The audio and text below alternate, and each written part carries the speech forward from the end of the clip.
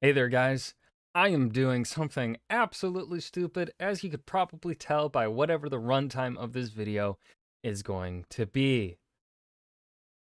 I decided I have I have never read any Warhammer books, never played any of the video games, but I all I know is that Henry Cavill is going is executive producing a series or will be hopefully.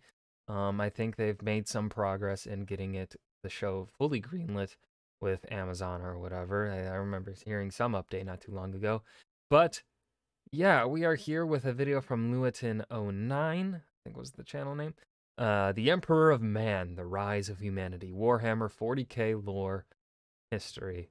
Now, I'm going to be, of course, trying to look at this from a world building uh, perspective as a fantasy author. Now, of course, Warhammer 40k is more science fiction, um, though they do still, of course, have a lot of fantastical elements within it based on the snippets that I have heard on the internet from this fan base. Um, now, because this is very outside of the norm that I do for this channel, please do watch as much of this video as you can.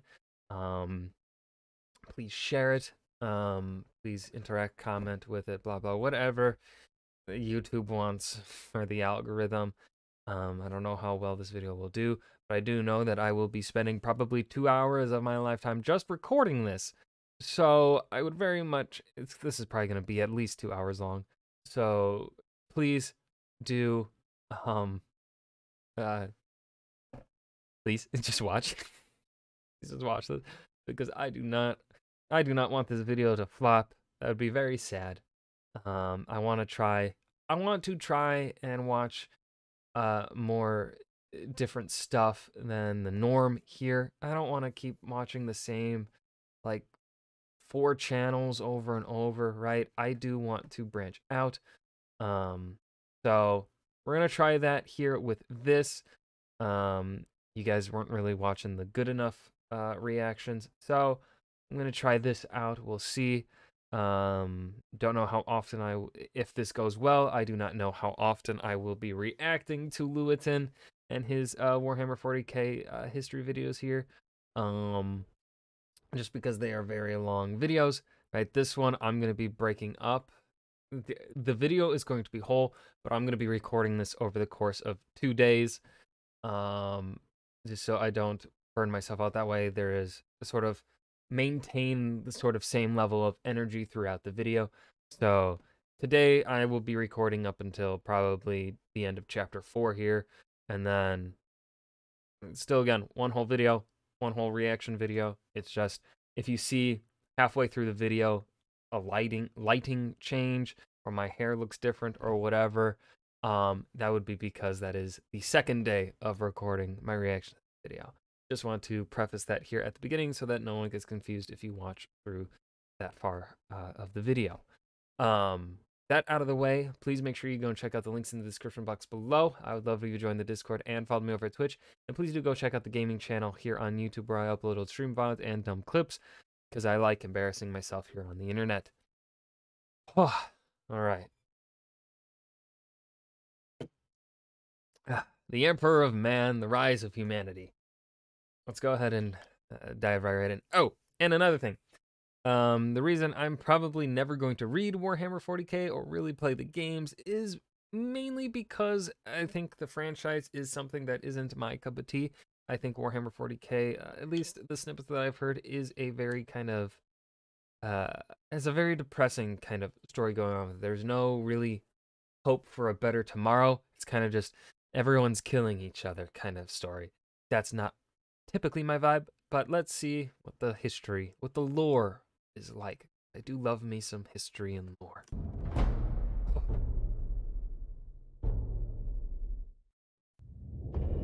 In the grim darkness of the far future, there is only war. Okay. there it is.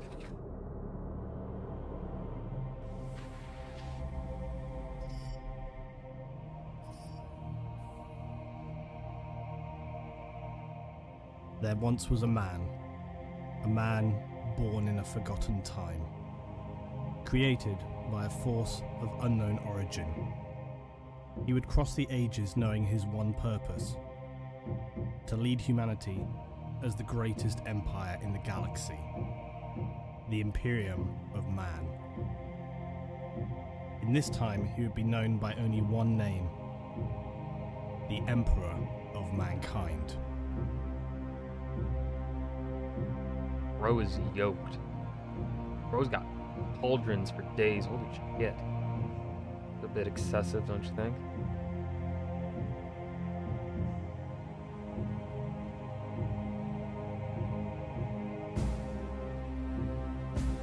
I kind of hold on. Okay, I'm kind of feeling like you know back in high school. I'm kind of feeling like I'm watching one of those like uh Roman history videos that you would watch in school. That's not to say that's like, but not like a bad thing. Kind of gives me memories. This is Luetin.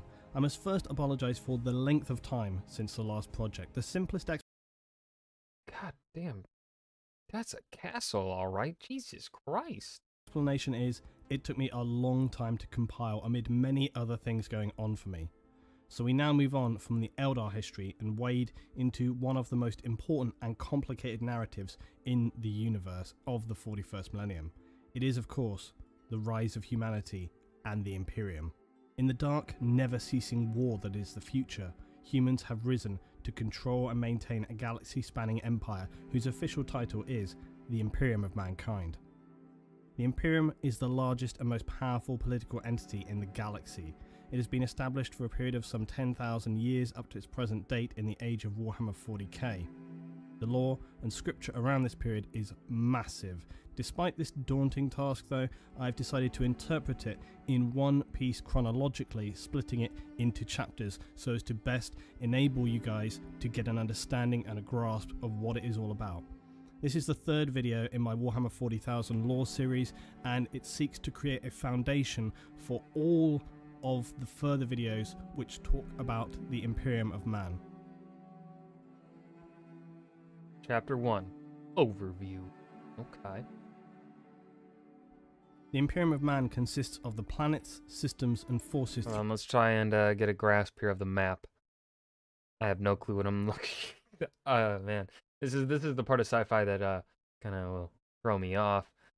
Uh, science, space, daunting. Um. Okay.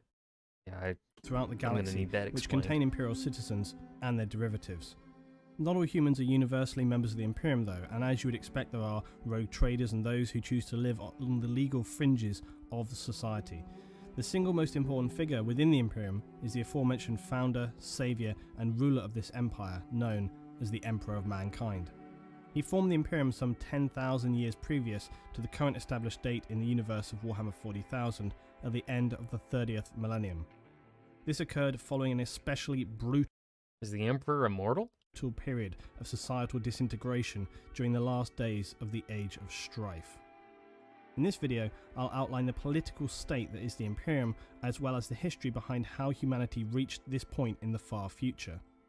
As with anything though, the complexity and depth of the lore means I can't cover it in its fleshed entirety, so some tangents are going to have to remain for future videos, but I do my best to cover as much as possible which is relevant. The Emperor of Man sits as an extremely powerful figure within the Imperium. Make no mistake, he is the centre of humanity in the 41st millennium. So powerful a humanoid, he was arguably barely human to begin with, and he continues to protect mankind after his mortal wounding during the final battles of a period known as the Horus Heresy. Were it not for his ever present psychic voice reaching out, searching, protecting, and planning, then the Imperium of Man would undoubtedly fall back into dark oblivion, and perhaps the light would be extinguished permanently. The Emperor was injured so badly after the heresy that he now exists only as a husk of a man within a stasis chamber called the Golden Throne. This allows him to live on eternally Ah. as he Okay, he is explaining. Cool. has done for some past 10,000 years, whilst continually guiding mankind through psychic whispers. The only catch with this is thousands of psykers are sacrificed every day using their essence and psychic power to keep him alive, as he is heavily protected and attended to back on the ancient homeworld of legend, Terra, or Old Earth. Oh, The Imperium of Man well, that's kind of hold on, hold on. Thousands every day? continually guiding mankind through psychic whispers. The only catch with this is thousands of psykers are sacrificed every day using Thousands. How All right. So this is this is I'm to be nitpicky here because I kind of love to be I love being a little nitpicky now and then. Um and because of the length of this video, I'm going to be nitpicky. I'm to um, How how can they like I understand that they right? They they span a bunch of planets, right? And, and the numbers of the Warhammer 40k universe are a bit uh I don't know what the right word to say, a bit uh obscene. um so of course, right, I think uh, this is I think that number there, the thousand sacrificed every day. Um part of the Warhammer what I am going to glean from that, what I am going to assume uh, when it comes to suspending your disbelief for the Warhammer universe, one of the things that you have to dis uh, um, you have to suspend your disbelief for is the numbers. Uh, and a lot of the time within fantasy, you do have to suspend your disbelief when it comes to the numbers because authors tend to not be good at math. Um, George R. R. Martin is a very good example of that, right? If you really were to scrutinize the Iron Islands, you'd be like, this does not work. And like, right, the numbers here are really wrong, right? And George even said like he did not picture the uh, wall, uh, the frozen wall, to be as tall, right? Because he was just like 300 feet or whatever sounds right, and then he's like told how tall 300 feet really is, and he's like, oh, it's taller than I thought, right? We authors not the best at numbers, um, and, and really grasping them. Um, and so, but also, despite the amount of planets that they may rule, um, I think, I mean, even this far into the future, uh, when you're fighting a constant war as well, so the combination of fighting a constant war, but then also having to sacrifice thousands of people who are probably very um, beneficial to the war effort and the society of the Imperium of Man here, the thousands every single day to keep the Emperor alive, to me, right, being nitpicky and not suspending our disbelief, um, seem is a bad way to go because that is not a number that will be able to be consistent. Like they cannot they cannot keep up that amount of sacrifices every single day um, while also fighting a galactic scale war in my mind like the way i'm trying to picture it right? In their essence and psychic power to keep him alive as he is heavily protected and attended to back on the ancient homeworld of legend terra or old earth. Like e- even i mean and granted they're probably numbering in the trillions of humans, so I guess in s in a way it is fathomable, but like I'm I'm assuming based on limited knowledge here and just assumption that those people being sacrificed are a trained group of people, right? And so it takes years of training to get them to the point where then they could be sacrificed to keep the emperor alive.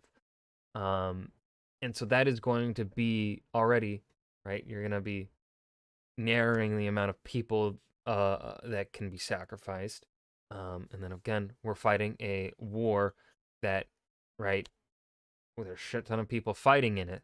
It's a galactic scale war. The. I mean, I guess, yeah, it works. It works. It works for the way that the franchise, I believe, has set itself up. Um, with the way its numbers are, right? Uh, I, I think again, it is something that you you are easily able to suspend your disbelief for when it comes to the Warhammer 40k universe, right? Um, but you know, you get nitpicky. It makes me kind of like, hmm, I don't think that's sustainable, right?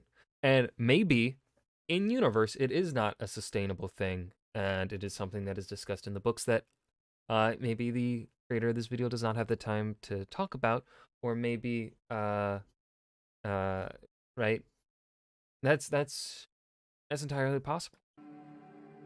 The Imperium of Man in the wider galaxy now consists of many systems, planets, and trillions of citizens.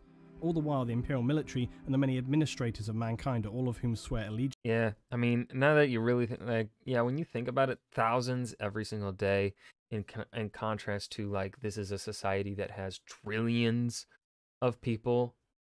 Um, the thousands really does sound like a lot less, but still, when I just because of the name of the people being sacrificed, it does to me come across as a specific group of society that has to be trained for that role.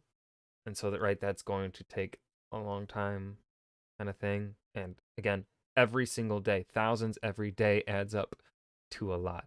Like if we just say base minimum 1000 every single day, uh earth one earth year 365 that's 365,000 at least 365,000 people uh, over the course of a single year um, in a franchise that, you know, right? We are the Emperor of Man has lived for like 10,000 years, right? Um, so that's what probably over a billion people sacrificed just to keep him alive, maybe at minimum. Uh, I'm doing trying to do some really rough math here. Um, I'm probably off with that. Um, but yeah, so that many people in a train I don't know why I'm just sticking to this so much. It's just again, I want to be nitpicky here for this. Um I think it could be fun.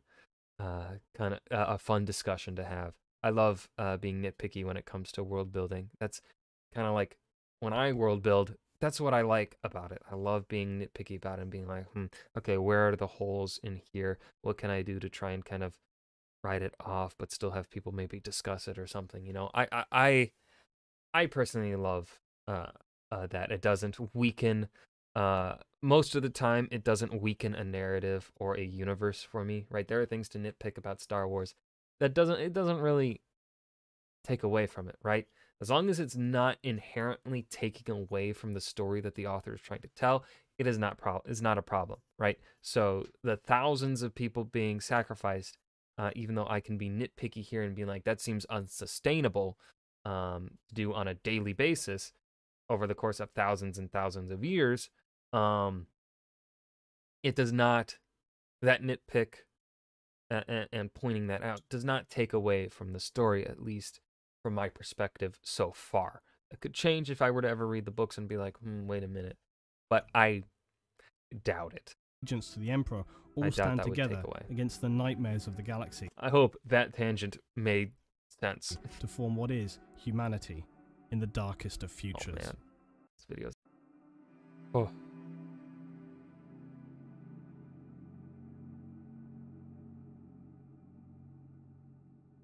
Now we know that in this future we have access to highly advanced technology and face many voracious enemies wielding our own forces to then counter them.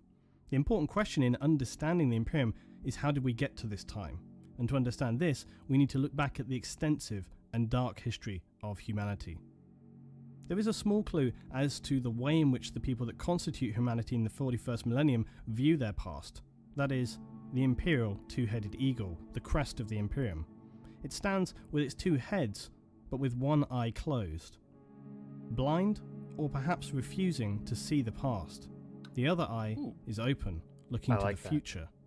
The logic being that the past of humanity is too painful or dangerous to look back on, so we look forward, striving to be stronger and more. I fucking love that. I love that. I have no notes aside from, yes, that is fantastic. more powerful building right as there. we have done just such for a thousands symbol. of years.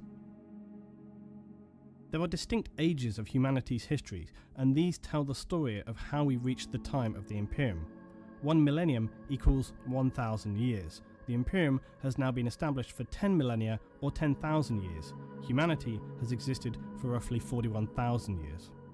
This timeline demonstrates the ages of man through this period from our ancient history through Age of ter- Age of Earth, the golden slash dark age of technology, the age of strife, the unification wars, the Great Crusade, Horus Heresy, Great Scouring, the Imperium of Man. to the age of the Imperium. We have the ancient history, the age of Terra, the golden age of technology or the dark age of technology, the age of strife, the unification wars, the Great Crusade and the fall of the Eldar, the Horus Heresy and the Great Scouring, followed by the final Age of Imperium of Man. Chapter 2 Ancient History. Oh boy, we're going to go through. Okay. The ancient history tells of the dawn of mankind, but this period is largely one of animalistic evolution. The most significant event occurs around 7000 BC. This event marks the birth of the humanoid, who would become the emperor of mankind. His origins are something of a heated debate among the 40 Wait, wait, wait a goddamn minute. This man has been alive since like the year 7000 BC. So he's been alive for more than 40,000 years.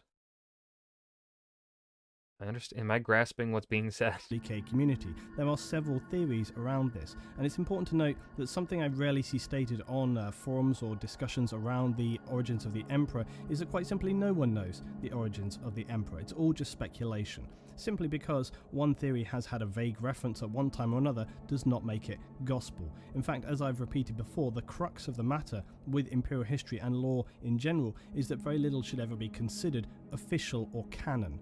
Uh, such is the state of the loss of history, misinformation, and suppression of facts within the 40k universe. So essentially, the correct version is the version you want to believe. In aka also a way for them to kind of uh have a vari- like kind of com- uh compromise with the variety of authors that work within this franchise and, and contribute to the lore right? That is a good way of um right handling that. Like the star wars expanded universe had a problem where there was like you know no oversight and essentially there's a lot of contradictions within the old expanded universe um uh so and also i kind of feel like uh dave filoni is kind of contradicting timothy zahn's thrawn books canon thrawn books.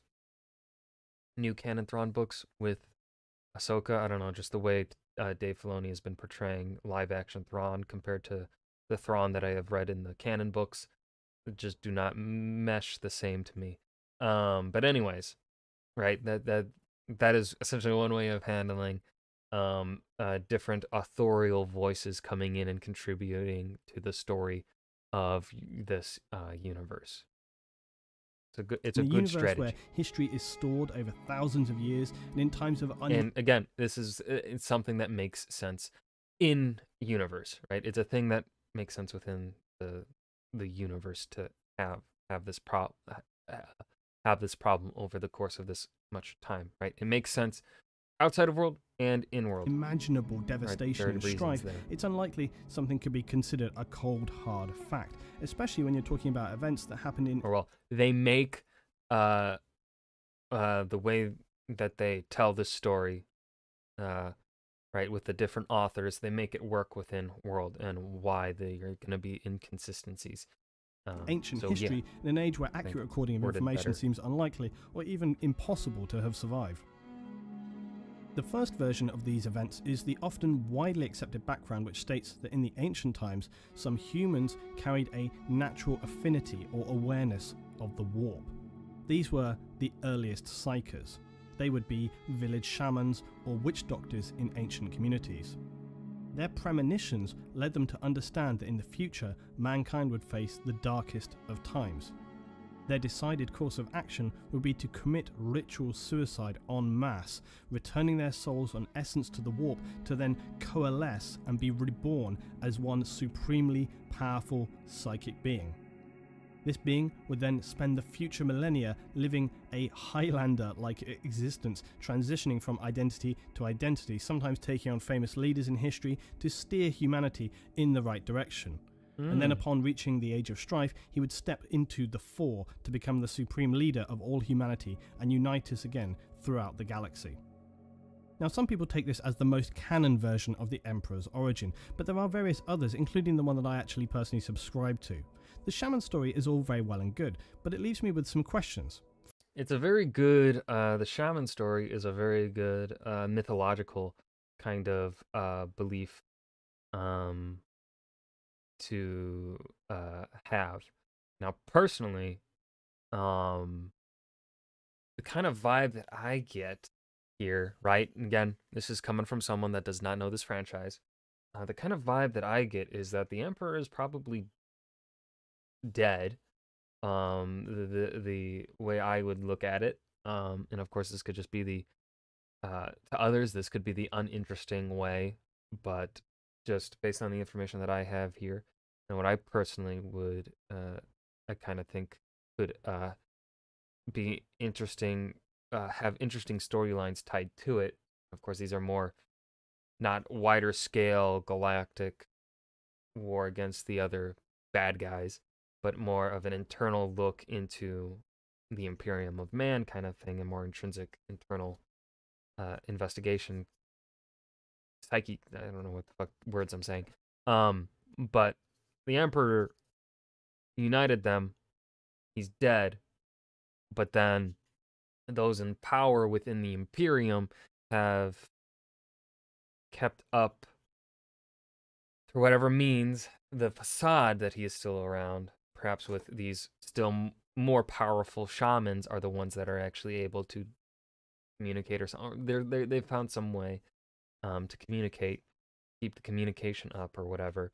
Um, or maybe it goes from it's been handed down from one emperor to another um, but for whatever reason they believe that the idea of a single immortal emperor fits better right so they want that imagery and so they just keep training this one person to inherit after this first one dies, right, is just an inheritance of a super powerful magic user or whatever uh, from generation to the next.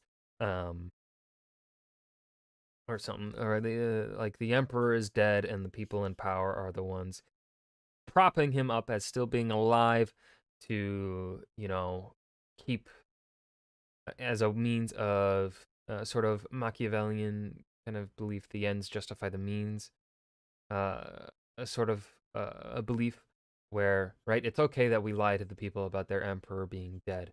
Uh, it is what will keep us alive and keep us fighting this war against the people on the outskirts right? That could be one way of looking at it. Um, I, I think that could be potentially interesting that the emperor of men is not this immortal being or whatever. But again also there are interesting storylines to follow with the emperor being an immortal man for example, if these shaman were some of the earliest humans with only a vague awareness of the warp, how could they have such powerful precognition to foresee the need to create such a super being? In addition to that, if they were truly the earliest stowings of psykers for humanity, then surely they would not have been especially powerful, and even with their powers combined, uh, how could they summon humanity's greatest champion? No, not Captain Planet. Hmm. So, those two things stand out for me. Also, their plan to commit mass suicide and then hope that they would all be reborn together seems pretty spurious. It seems to tick the boxes from an okay, I guess that's possible point of view, but it just doesn't make sense beyond that. Mm-hmm.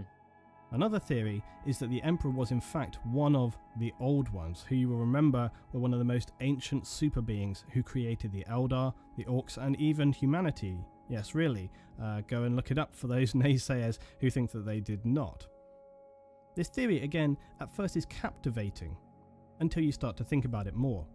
And then you realise it doesn't really make any sense. The old ones were, as far as we are informed, uh, not shapeshifters, but creatures of light and dark. There was a statement to the fact that just a single old one escaped the brutal genocide of their race, but then was eventually killed at the birth of Slaanesh when the Eldar fell.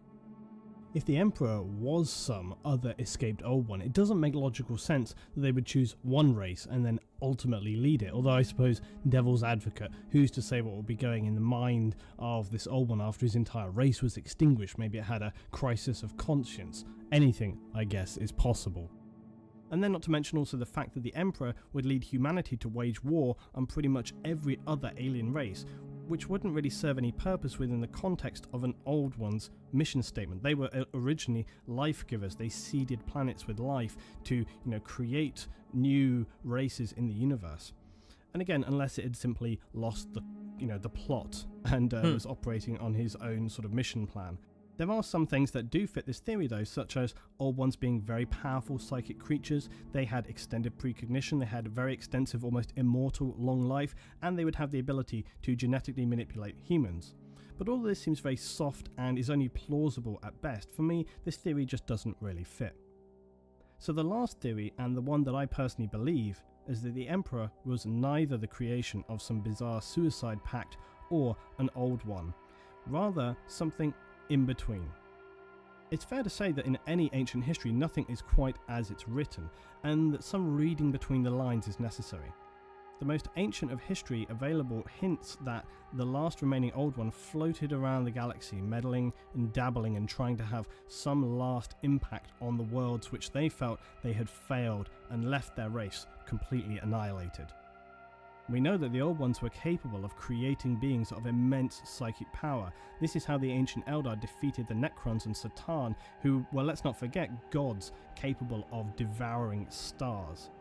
So the theory I stand by is that a fragmented remaining Old One drifted around the galaxy until he was struck by a precognition so terrible that he had no choice but to resolve becoming involved. It could be that he saw the vision of the Eldar fall or the rise of chaos. Either way, he knew that the Eldar were by now far too arrogant to accept any help and would be of no use, remembering that the Eldar had turned their backs on the Old Ones long ago. The Orks, who were also an Old One's creation, they were too crass and mindless for such preparation. Instead, he would turn to the weak humans.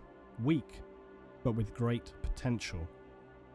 And so he would decide on forming a divine creature, a humanoid of the most immense power, but birthed in such a way that he would not allow those humans would not immediately view him as a god, but as a man, to be not worshipped, but instill a sense of power, of awe, of destiny.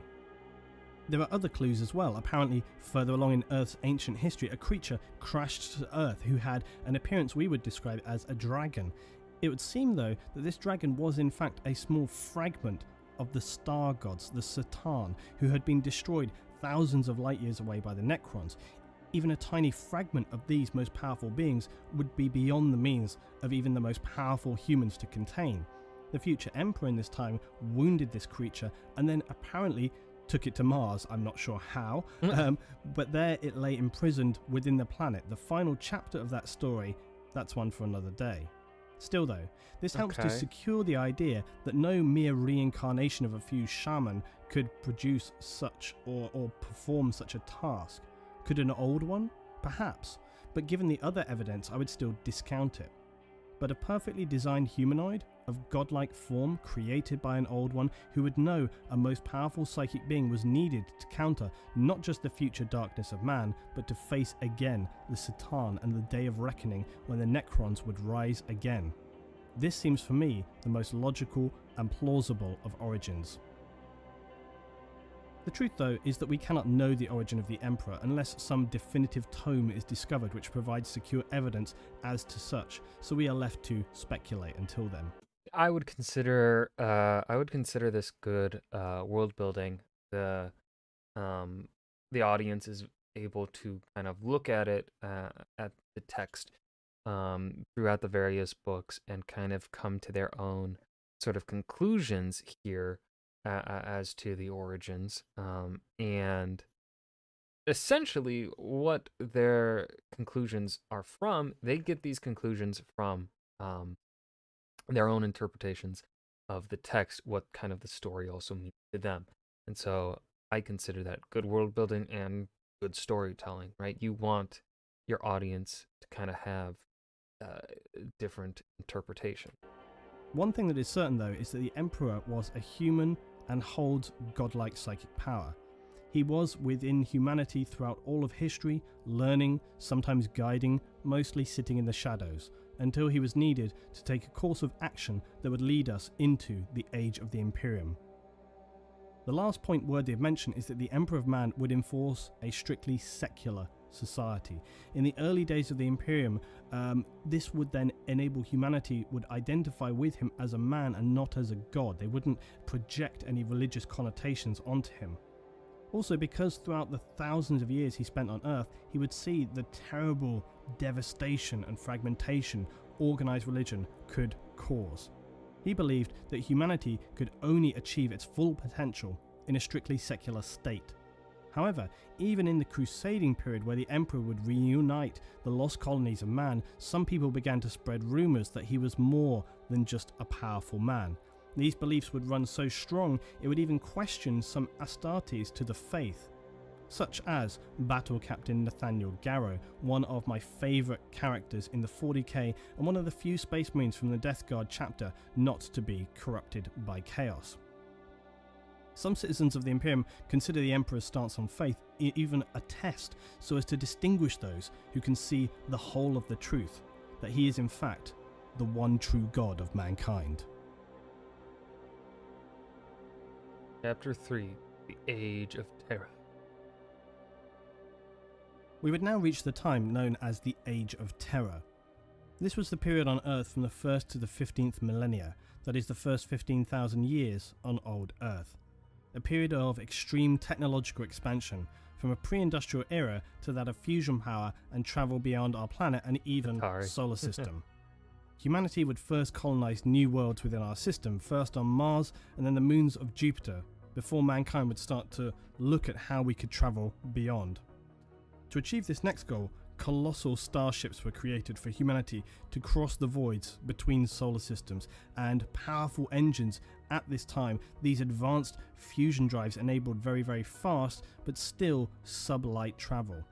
This meant in order to reach their destination, it could take anything as long as 10 generations of human lifespan to reach their destinations. Subsequently, trade and aid between human colonies was then extremely difficult and would lead to them being established almost as independent states. But One of the things that throws me off, like, so with sublight travel, or really just any kind of intergalactic travel, one of the things that that I find personally freaking why I will never sign up to go to a different planet outside of the galaxy, uh, outside of our solar system, is that um you could be and this is something that's i think mentioned in um uh it's mentioned in mass effect andromeda actually is one of the things uh i personally enjoyed mass effect andromeda.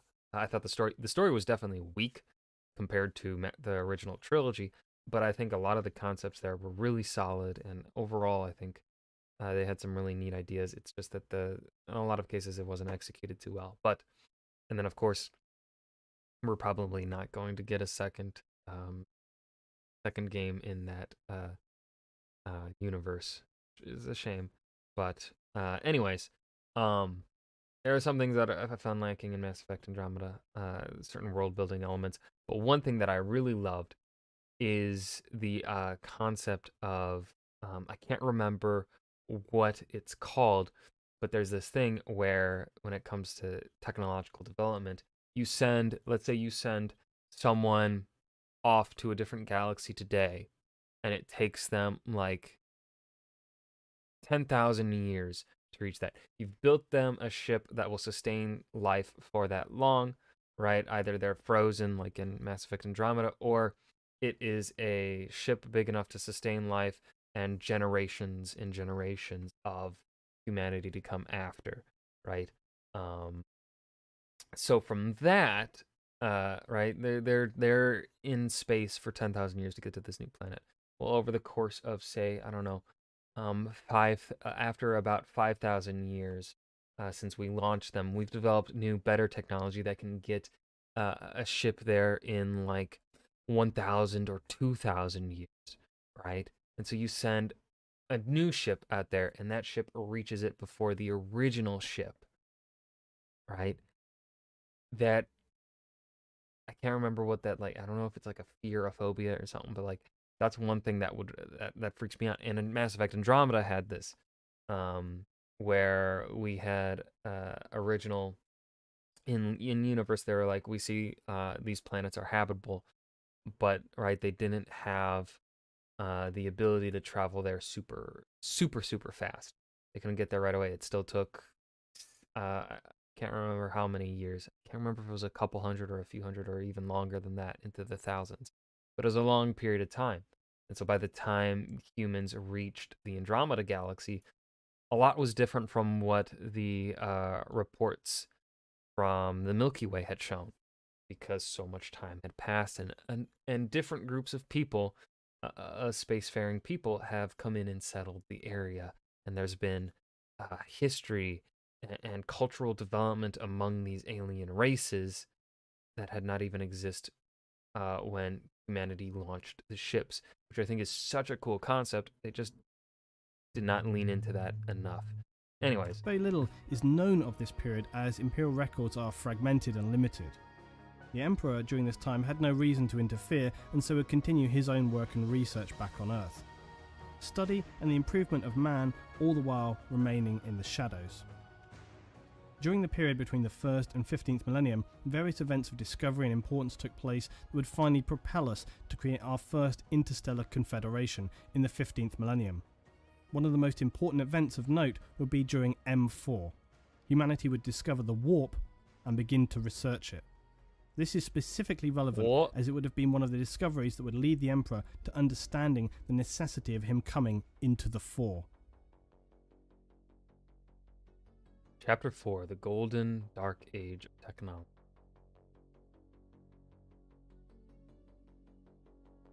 I'm really loving how this video is uh, like laid out and As we reach the 15th millennium, humanity would enter a golden age of technology. This would be the highest point in mankind's technological achievements. It would last for some 10,000 years, and humanity continued its rise in technology, science, and power, spreading and colonizing mankind all across the Milky Way galaxy.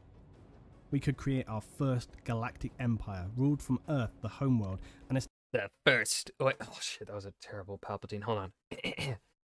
something, something dark side. Unlimited power. Okay, we're getting. the first galactic empire. I, I can't do it. establish massive. Y'all know what I'm trying to reference. That further powered expansion and Uh, advancement. you're fucking nerds, you'll know. This earlier period in the age of technology has a subtitle known as the Stellar Exodus. This marks the time when humanity made its first colonies on other worlds and also beyond the solar system. These initial colonies were reached using the ships that were still only capable of sublight speeds and were restricted by this, as well as our developing but limited knowledge of building these vast scale ships. When these ships reached their destination, though, they would be then slowly deconstructed and their materials used to build the colonies. Some would become manufactorums capable of producing massive war machines, or then back then, defensive machines, things such as Imperial Knights and even Titans, which the colonies would use to defend themselves against the dangers of the galaxy. In a comparable way to early colonies on Earth, this meant they had to be self sufficient, and due to the large timescales involved before anyone would likely reach out to them again, they would develop their own cultures and languages largely influenced by the noble families established on these interstellar voyages, as well as physical elements on the new homeworld. The planet's characteristics would also shape the way in which their societies would evolve. Now, some 6,000 years later, around the period of Millennium 21, mankind now began a process of militarization. It is not known what I really like that this is it's really showcasing in this lore is the understanding of technological development, right? Uh, this feels very um, one of the things when it comes to technological development is that it is very um, it's it's it's almost it's pretty much exponential, right? Um, if you look at our own history and the development of technology, more technology, we've probably made more technological advancements in the last 150 years than the first than the timeline of history before the 1900s. Um because that's how that's essentially how technology advances. Like you even look at the timelines like the length of the stone age, the bronze age, into the iron and then the steel age, right? You look at uh the you see them shrinking because technological advancements are happening quicker and quicker um which is why the modern age is a pretty short period of time and we're already in the post modern age, which of course I think that's probably going to have to change by later historians. But yeah, uh, one thing that I think is pretty well grasped, it seems, by um, Warhammer authors and writers is uh, these these sci-fi authors are do seem to understand uh, that whole exponential growth of uh, technology because right it took us this long to get here uh, into the 21st uh, millennium and then so the next 20,000 years um, uh, history uh, technology is going to be advancing to a point where they can now wage intergalactic scale conflict uh, with relative ease. Um, and then, of course, I think another thing that will happen, I think um, we see it in Star Wars. Uh, I don't know if we'll see it here, but I'm assuming we'll see it here. Is that technology essentially will peter off and will just kind of be stuck at an equilibrium? But also, you could contribute that to the constant war. Constant war uh, does lead to certain innovations, but it also does lead to certain stagnation in a lot of areas. Right, we get really good at killing each other, but in terms of advancements in other parts of the of society, kind of stays stagnant a bit. Who or for what reason created this process or started it off? But along with sense. our expansion and colonization of planets, we also began to expand and develop our weapons and forces.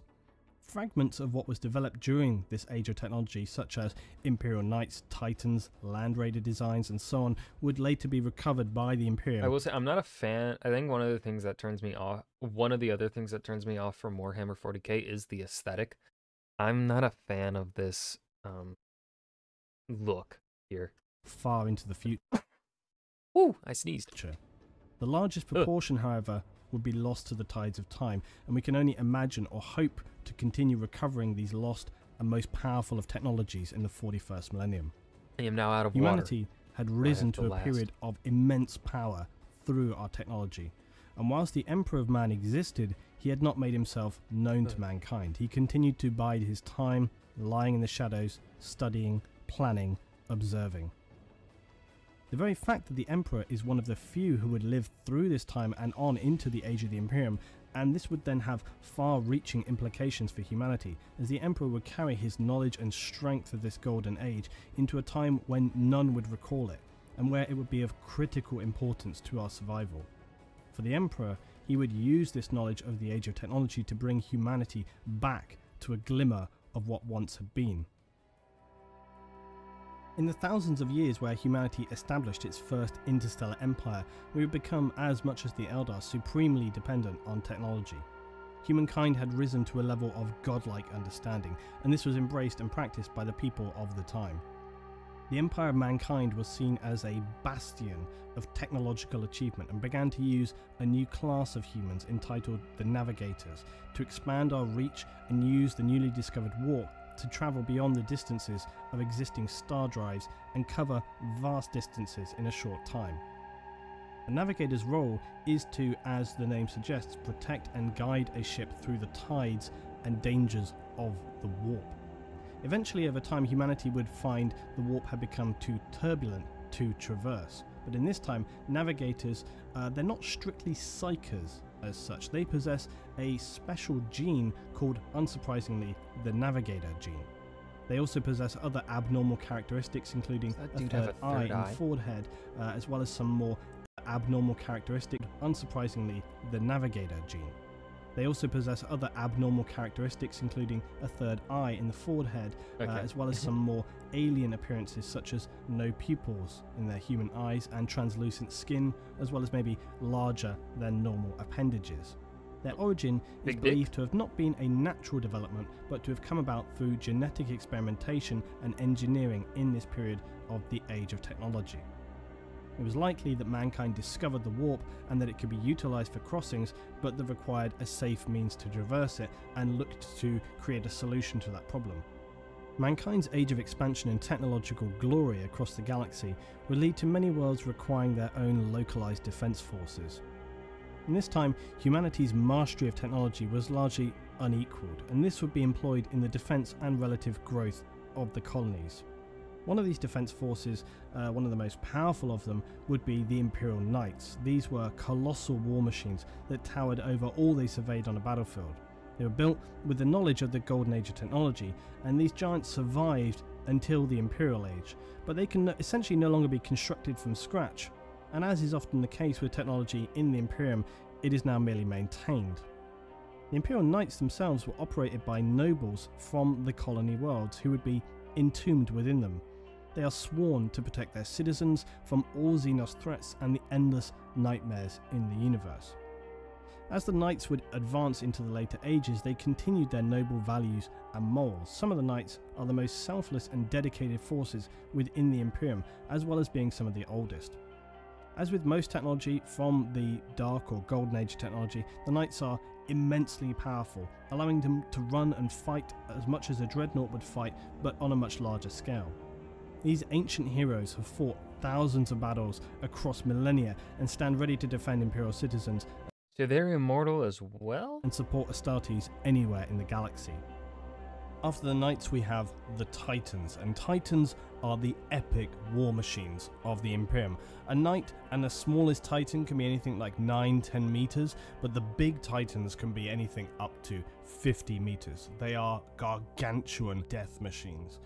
Many people believe that the Mechanicum were originally responsible for creating the Titans. This is not strictly correct. They do construct some Titans, but many they simply maintain. This is because the technology used to create Titans is very, very old, and like many things in the universe of Warhammer 40,000 for the Imperium, a lot of technology is merely maintained because of its complexity. Uh, simpler devices are constructed, but this happens less and less. But the Mechanicum do create some Titans for the Imperium. Originally, the Mechanicus found versions that were Okay. completely autonomous, created in the golden age of technology. And the largest Titan so far discovered was upon the lost forge world of Charania. It was a completely autonomous war machine and was dubbed the Castigator class Titan. Its schematic was apparently also contained within a standard template construct on this planet, and it was far superior to any class of Titan utilized by the Adeptus Mechanicus or any other intelligent race in the galaxy. This was so far the only known discovered Castigator class Titan, but it was subsequently destroyed by Imperial Grey Knights. Grey Knights are the secretive and unbreakable order of Astartes warriors dedicated to the protection of the Imperium from the very darkest foes that humanity faces in the 41st millennium. Now, the portion of the STC database containing the data for the manufacture of the Castigator class Titan was also destroyed by the Mechanicus. It possessed AI, which is strictly outlawed and heretical within the Imperium. Secondly, it had somehow long ago been corrupted by living chaos energy, and for this reason, it could obviously no longer be supported. Imperial records of this event, though, note that the cost of life and resources required to destroy this Titan monstrosity was severe. The key point here, though, is that mankind was developing machines in the golden age of technology that would never again be equaled. They could be merely copied, emulated, or used as a template to work from in the future. But our level of knowledge, our rules and guides on what could be created, due in part to events that were yet to come, would very much limit humanity's advancement in the millennia that lay ahead. I mentioned a moment ago something called an STC. This denotes a device known as a standard template construct. These are one of the single most valuable objects in the galaxy for the Imperium, and their importance was no less during the Age of Technology. So, what is an STC? Please do tell me. STC systems were advanced AI computers created during the golden or dark age of technology and are said to have contained the sum total of human, scientific, and technological knowledge. STCs were created when human interstellar civilization was at its technological peak. Their original purpose was to enable colonists to survive on the new worlds they arrived upon, as they could not carry securely the mass amount of knowledge gained by humanity at this time, and even if they could, they might not have people capable of understanding how to utilize this. The STC Okay. solved this problem. It enabled the colonies to access all of humanity's knowledge and display it in a way for them to be able to create anything they needed from the resources available and solve any issue that could arise for them on the new home worlds, no matter the geography. So wait, why can't they then use the STC to uh, build more knights or whatever? geography, resource limitations, or climate. This would enable them to build anything from a simple lasgun to a fortified bunker, massive war machines, or an atmospheric processor. STC systems possess the ability to not just store information, but also to produce new designs to meet changing circumstances. They are immensely powerful sources of information and power, and consequently, the Imperium places a high value on obtaining these lost relics of ancient knowledge. Even though now, after many thousands of years had passed, most of the discovered STCs are damaged to the point they only contain fragments of their former Ah. stored information. There But it is. Imperial forces will still use any means or resources necessary to obtain an STC once it has been discovered, even if this means the sacrifice of legions of military or civilian Imperial citizens. From the Golden Age of technology and into the ages to come, these valuable systems would be lost or destroyed, so that now, in the age of the Imperium, they have become beyond rare, almost just a legend. So the consequence There it is. Okay, understand. discovery of remnants of any new technology from the Dark Age of technology puts an STC's value to humanity beyond estimation. The little knowledge Doing a pretty good job at uh making it kind of difficult to be super nitpicky here. Uh, outside of that first thing that I was super nitpicky about, um, because of course, right? We we this is something that we see within real world history, um, the loss of technology and just our. For some reason, we just lose the ability to be able to replicate some things of the past. We lose that knowledge. Don't know. I don't understand why how we lose it, but we do. Um, it just happens over the course of an extended period of time. Knowledge that has been recovered from damaged STC units is then utilized, copied, and stored by the tech priests of the Adeptus Mechanicus, who are based deep on the primary forge homeworld of Mars. They believe that STCs are the most holy of artifacts and will seek and protect them at any cost. This little divergence is an important one because an STC recovery, no matter its state of repair, still remains as one of the most important objectives for Imperial forces in the 41st millennium. The holy grail of this quest, though, although unlikely, would be to recover an intact STC, thereby gifting the Imperium all of the stored knowledge of mankind from the golden age of technology. If the Imperium were able to recover an STC of this standard, it would catapult the existing human society into becoming yet again one of the most advanced and significantly, if not the most powerful state in the galaxy. The STC Crusade also explains in part about the state of technology and development of the Imperium, in that much of the knowledge regarding tech is replicated or learned rather than invented and created. Although new tech does come along, it's not overtly specified why so little resources are put into research now. It could be speculated, though, however, that mankind relied so strongly upon the Emperor in the last 10 millennia that now they believe he only he is capable of directing mankind's advancement, and they solely focus on maintaining him and maintaining the state of Imperium. I like that. I like that little bit of world building there. That little bit of uh, uh, of theory uh, coming in here, um, because it makes sense. It it it does. It it feels like a natural progression of the world and history built up here so far, right? You have the, and it feels like a reasonable drawback to this godlike entity that is the Emperor of Man. I like that. I like that. Imperial affairs. Right, so it's we like return It's like they they're they're doing a good job of like here are some benefits of of, of the Emperor of Man here, right? Where we're super unified as a people, but now they have an over reliance on him, right? And it makes logical sense for what has been built. Turn to here. our story, and at this time in the golden age of technology, humanity continues to expand across the galaxy. Initially slowly, as the gigantic starships we crafted were incapable of using the warp to traverse space. And as we learned previous, they took generations to reach their destination. They were essentially travelling worlds, similar to the Eldar craft world of the 41st millennium. When these ships reached their destination, they would slowly be deconstructed, and their materials could be used to create massive war machines such as the Imperial Knights and Titans, which the colony could use to defend themselves against the dangers of the galaxy. Dangers such as the Eldar and Orks, who were first discovered in this period as a result of our reaching out beyond our own system to more regularly explore the galaxy. However, interestingly, during this time, humanity was actually considered more powerful than it is in the 41st millennium. This strength was mainly due to our technology rather than actual physical forces, such as Astartes, who did not exist in this age. Science was humanity's primary religion, and the society of man perceived itself as having reached a time where no one could be a real challenge to us. To a degree, this was actually true, so much so that the Xenos races of Eldar and Ork actually signed non aggression pacts with mankind, which seems bizarre from the Ork point of view, but there we are. Hmm. The discovery and use of interstellar drives, that is, an engine enabling cross warp travel, now powered humanity's expansion and domination of the galaxy forward. A federated government was formed, enabling us to create a strong trade community and, most importantly, remain unified and powerful throughout our colonies spread across the galaxy, aiding and supporting where necessary with either materials, logistics, or military. The exact form and nature of this federation is unknown from this time, as so much knowledge and history was lost.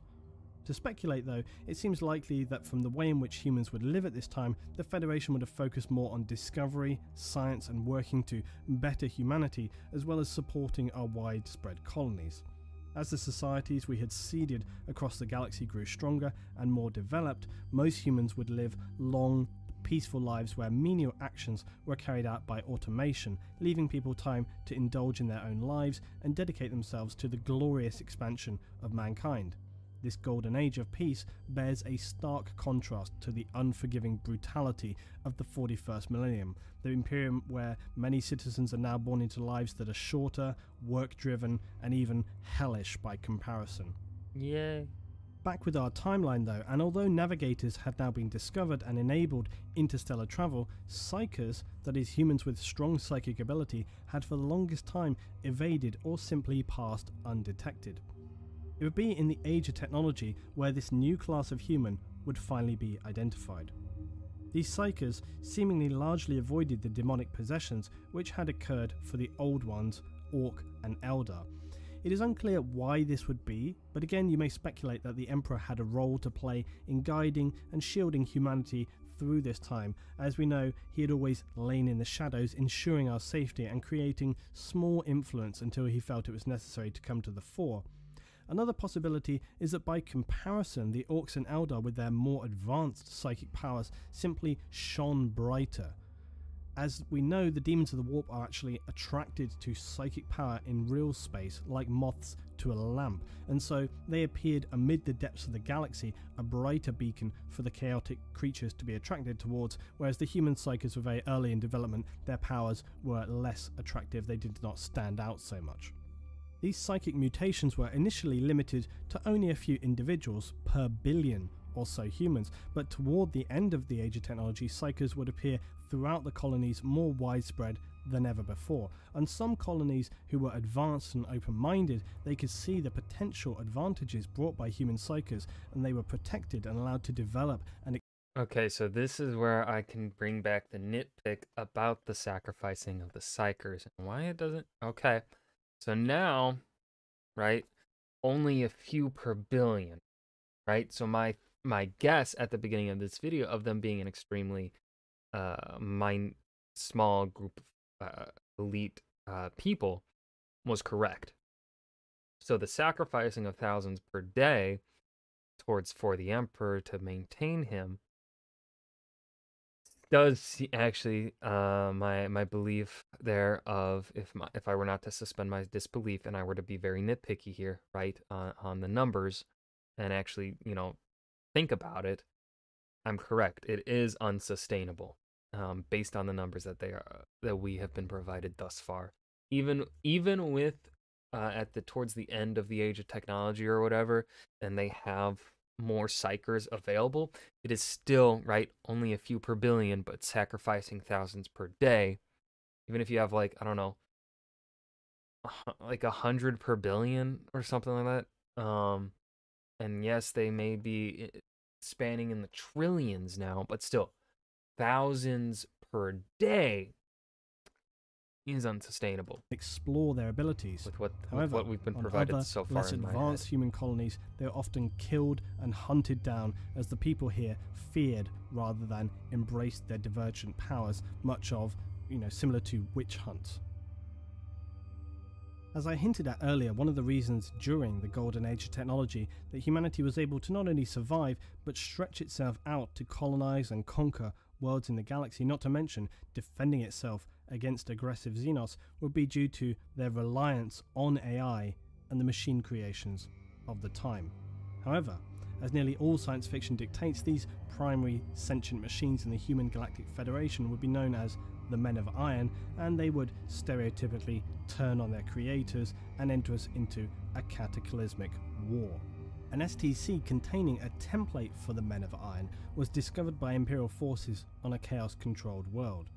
It became apparent that much as the Castigator class Titan, the Men of Iron here had also been corrupted by chaos, and the AI of these creations was sentient. So we can perhaps speculate that the Men of Iron initially resented their human creators, but combined with this, were also corrupted, possibly by chaos, which at the time was relatively unknown to mankind, hence the lack of any documentation to support such speculation. It is, however, a possibility and stacks up with what we know of the corruptibility of human AI creations. Also, the intent of the dark forces of chaos to obliterate humanity once it became aware of its existence.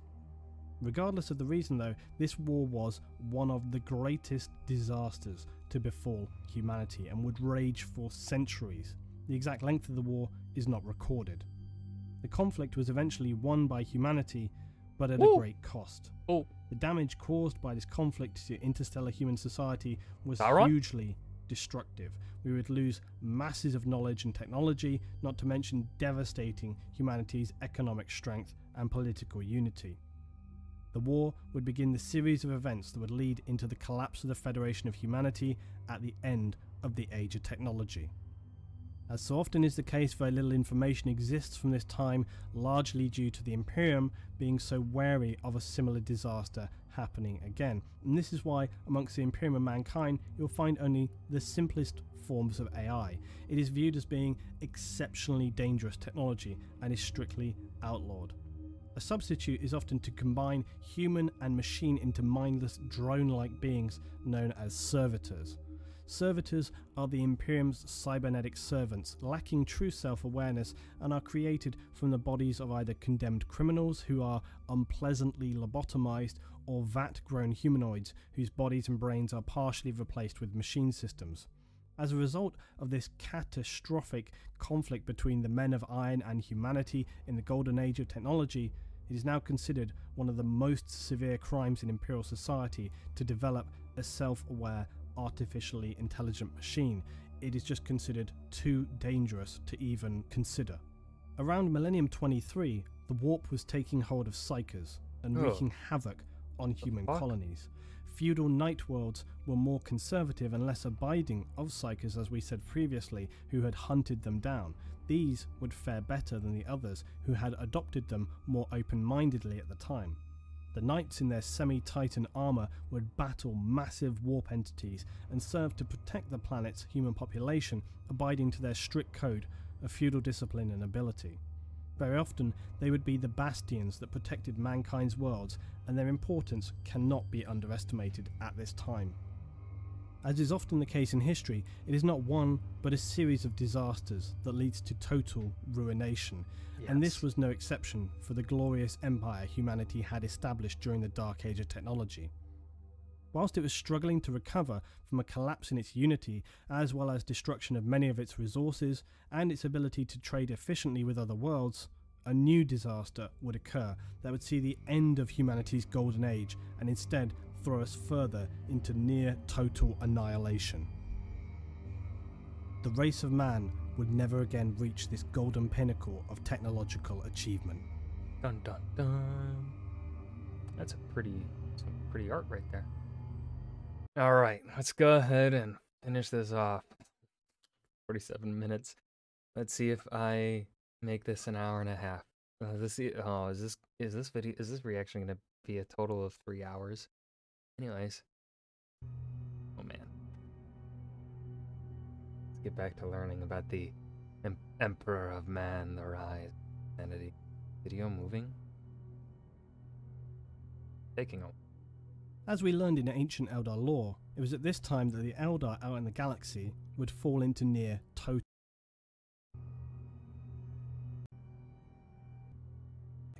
would fall into near total destruction.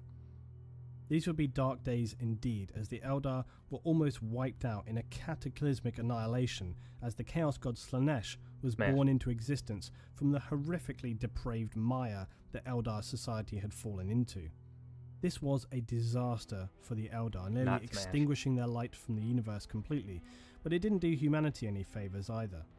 The near destruction of the Eldar and birth of Slaanesh only came to mark the end of the Age of Strife. What caused it prior to these events was the ever expanding sea of psychic energy known as the Warp. For many millennia, this had been growing more and more powerful, fueled by the nightmarish depravity that was Eldar society. Around the end of Millennium 24 and the beginning of 25, mankind was still struggling to recover from the disastrous war against its Men of Iron and its far reaching impact on the previously secure and strong human federation. With their galactic unity destroyed, as well as suffering from the inevitable wounds of war, material shortages, mass loss of life, and destruction of infrastructure, we would now face a new problem. Warp travel was becoming increasingly difficult.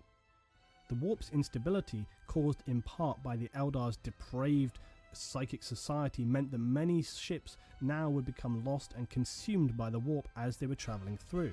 Well, that's not. This was not an issue for the Eldar themselves, as they used their webways to travel, which you know were outside of what that warp space. For humanity, though, it would be a severe problem, and its impact would deal the fatal blow to an already fragile empire. The losses and damage caused by the war with the Men of Iron, combined with now being unable to travel across the warp to cross those great distances in the galaxy, would ultimately return humanity to a pre Dark Age of technology state, where only sublight travel was possible. This was a disaster. Trade and support could no longer be conducted as these journeys would now take generations to complete. Humanity was once again isolated as it had been millennia before. The warp storms and the isolation they would create would last for over 5,000 years, and their effect on human society across the galaxy was catastrophic. Some planets with a significantly advanced human colony would survive into the future if they had the means to defend and support themselves. It's important to understand that when a system is set up with no established backup, its collapse has an immediate and profound impact. This was the case with mankind's trade system. It had grown over time to enable many planets to survive solely on imports from other rich parts of the human federation. Without this infrastructure and no way to gain outside support, disaster was inevitable. Many would turn inwardly to the colony, consuming themselves from the inside out. First with barbaric civil war, and later total anarchy, fighting over the scarce resources that remained. The final phase often led the significantly depleted population into a feudal system of warlords and barbarism.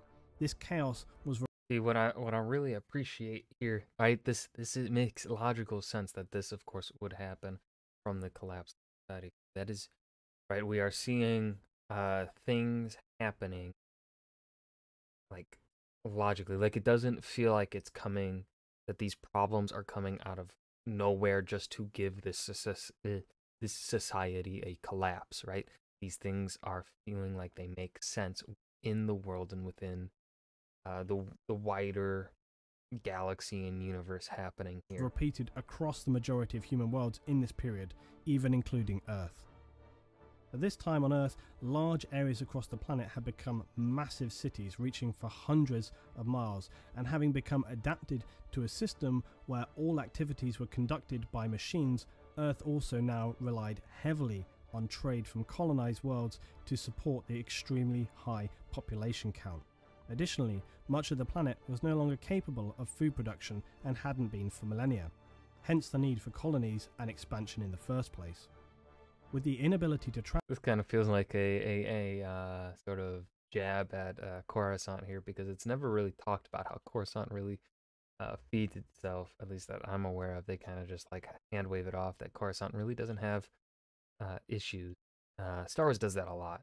Um, so I like that they're like, yeah, the capital here, because it was the capital of a human empire, right? It was able to offload things and just be a center for other things. It didn't have to worry really about agriculture because like it's got planets to do the agriculture for it, right? We can just focus on building up uh, different things here on the capital, on the human capital. And now that society has essentially collapsed, how are we going to feed these people? Travel and trade, Earth descended into a similar fate of the less advanced worlds. First panic and general disorder, then food riots, resource hoarding, and finally complete anarchy.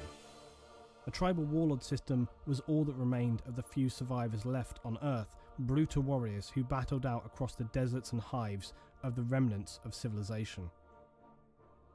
This whole situation might sound unbelievable that society could collapse This is from the Metroid games. so quickly and to such a severe degree, but it's worth considering that in this time human society had built itself up to be so strong in belief of its own invincibility that they simply did not and could not have anticipated the severity of the warp storms or how they would debilitate the trade and support systems that they had been relying upon. Human history is littered with examples of sheer arrogance outweighing logic and reason, as well as blindly staring down dangerous facts in favour of belief in our own self importance. Yeah. The lack of planning when it comes to losing their infrastructure across human systems was an acute example of human arrogance. It would now seem as well that whatever had protected human psyches from demonic possession would now end. It's my oh. speculation that, as previously stated, the Emperor was what provided this shielding, even though he was not known to humanity at this time. For he knew the power, importance, and value of human psyches in the dark times that would lie ahead. Without this bubble of protection that had invisibly existed prior to this time, humanity's weak psykers would be consumed, possessed, and go completely insane, causing chaos among isolated, colonized worlds. This period of complete anarchy would last for some 5,000 years, and during this time, many colonies would forget their family out in the galaxy, as well as losing vast amounts of technology and knowledge. Only fragments of the glory of humanity would remain, preserved on the advanced worlds who were capable to survive this dark time. By the 28th millennium, almost all traces of civilization on Earth were gone. Instead, techno barbarians battled one another over the scraps of the ancient human race. Mars, however, was one of the few worlds to undergo a different process. Oh. After a brief period of anarchy, the tech priests of the cult Mechanicus emerged victorious over the Psyker mutants and then unified their homeworld. The priests visited Earth This is the all right. So the music up until now very much fit the vibe. This still fits the vibe, but it is still a little bit. I don't know if it's because of how loud the music is compared to his uh, volume, to his voice. A little distracting. but upon right seeing now. its barren destruction, wrote it off as unsalvageable. They used any titans they go, had to help them in the future reunification of man. They would also be one of the few worlds to reach out and recolonize planets in this time. Using their knowledge of the warp, they chose moments of calm amid the storms of the time in the warp to travel through and establish new forge worlds. These were replicas of the tech homeworld of Mars and enabled them to continue support and recovery of the technology of man, as well as production of munitions and simpler war machines. But for humanity, its golden age was over. This dark age of technology had fallen apart catastrophically. Many of the weapons that once served mankind brought us to near destruction and turned lush, garden worlds into irradiated deserts. Mechanical factory worlds into dystopian nightmares, beautifully advanced and artistic colonies turned into barbaric, nightmarish hells devoid of all morality. The age of strife was upon mankind, and only the further darkness of the future lay ahead. Dun, dun, dun. Roughly 5,000 years later, around the period of millennium 30 to 31, human society had reached a state of pitiful decay after cannibalizing itself for millennia. What a way the to Eldar phrase that. had also reached the peak of their social decay, and so heralded the agonizing birth of the Chaos God Slaanesh, who would consume the majority of their population in one cataclysmic event that brought Eldar society to the brink of extinction. This horrific event, though, would have a positive outcome for mankind. It consumed all of that stored turbulent warp energy, so after thousands of years of instability, the warp returned to relative calm. Interstellar communication and travel would once again be possible for the civilization of mankind. Chapter 6 The Emperor of Man and the Unification War. So the age of strife was coming to an end, but before we move forward, we need to move back some 2000 years to M28 to M30. Humanity had now come close to the brink of destruction itself. So many worlds had fallen into disarray, starvation, chaos, anarchy. Now was the time. This would be the time where the mysterious and powerful Psyker who had wandered amongst humanity for thousands of years would come to the fore to lead humanity from an edge of unsalvageable darkness back into the light and resume their place as a meaningful power in the galaxy. Earth had by now been reduced to a chemically irradiated barren wasteland, Hmm. its population slaughtered, and all that remained were degenerate feral nomads fighting for irrelevant territories Mad insane wandering prophets, and cyber augmented techno barbarians who lived for nothing other than to fight, created in the cradle of world ending war. Frail empires would rise and disintegrate as quickly and forgettably as they had risen. No tribe or faction had enough power or resources to make any meaningful stand, and so it went on, pathetic fighting over the remnants of a ravaged world.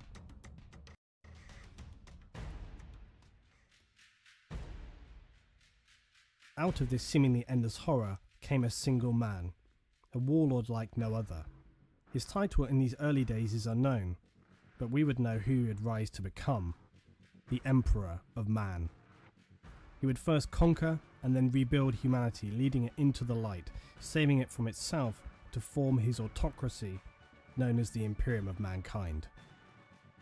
Unlike so many before him, though, he had power not only as an unstoppable warrior, but in many other traits such as rational thinking, tactics, philosophy, economics, compassion, foresight, and perhaps most importantly, a genius of science, everything and more that would be required for a supreme leader.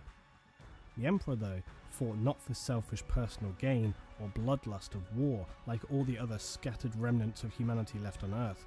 He had selfless, higher goals to restore humanity spiritually, intellectually, and physically to revert us to a time of strength and prosperity. These were the Why he let the society collapse, though? The years I'm not of the me. Unification Wars. The Emperor had long held a facility deep in a range of mountains previously I really do known like as the. Himalayas. This was his most significant stronghold and would later become the Imperial Palace. Here he experimented with genetics as well as developing and constructing weapons and armour for his warriors. In the earliest days, he would physically and genetically augment some of the most powerful barbarians. These humanoids would become known as the Thunder Warriors. The very first of their kind and the most basic template for what would eventually become the Imperial Space Marines, the Astartes, the greatest warriors in the galaxy. Under unsurmountable pressure from the Emperor's army of Thunder Warriors, the barbaric factions fell quickly and humanity was united on Old Earth for the first time in centuries. This, however, would come at a terrible cost for the Thunder Warriors themselves and is one of the least known yet darkest events for mankind. In order to unify Earth and bring humanity back on the path of advancement and strength, the Emperor had found it necessary to in part cleanse the savagery that had grown on the war torn planet.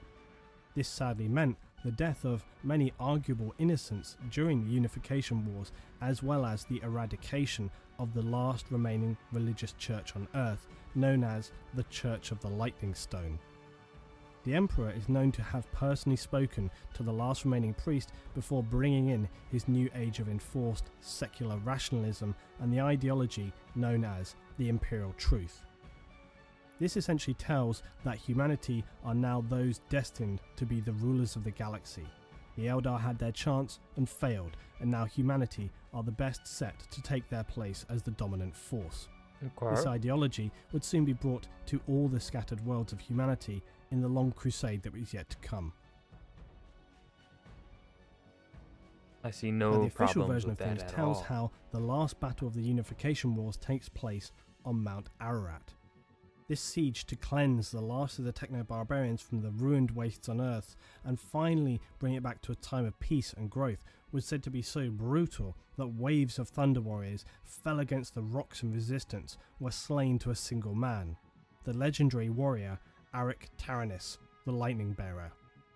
He would raise the banner of lightning to mark the end of the Unification Wars, setting in place the rule of the Emperor of Man, before he too would fall to fatal wounds suffered in this battle of legend. As with many things, the official version is not the end of the story. The actuality of the event was darker and far more sinister. The Emperor knew that in order to restore peace, growth, and a sense of civilization to his new and expanding empire, he would require a more stable and balanced force than the Thunder Warriors, who were essentially just adept brutes recruited from the wasteland, albeit clad in the earliest Imperial armor. In a necessary betrayal, the Emperor realized that in order to safeguard what he had achieved, his army of barbaric fighters could not exist past this time. It is believed that he actually ordered the many Thunder Warriors who had survived the final battle to be slaughtered by his elite guard and possibly even some of the early proto Astartes who were at this time far advanced beyond most of his standard force. That's fucked This up. terrible secret has been concealed from the people of the Imperium for more than 10,000 years. And were it ever to be revealed, the consequences could be unimaginably disastrous. The Emperor, though, saw this necessary evil had to come to pass for the greater good, a sacrifice of the few to save the many who would come. The Thunder Warriors Very uh, Machiavellian uh, kind of thought process were here built going for on. war, and war alone, and would not be able to adapt to a time of peace, and could even have turned a vital tool into a dangerous, unstable threat that could unbalance all that he had achieved. In order for the next stage of his plans, he also required that humanity rally behind him as the sole and most powerful force. Yeah, I don't The slaughter of the Thunder Warriors was not Mhm. the last act of betrayal, though, by the Emperor. He would then take the necessary glory that he had near single handedly reunified Terra. This distortion of the truth, while hugely distasteful, does appear largely necessary to Mm. reunite the whole of humanity and create the most powerful civilization in the galaxy. Nonetheless, should the truth ever arise, it would at best split apart the Imperium and at worst destroy it. These choices by the Emperor are important to remember in the context of his character, as it can lead to certain logical speculations regarding future events. Some Thunder Warriors, though, would find fate on their side and escape this mass killing and live on as homeless unknowns, seeking out a miserable existence at the bottom of society.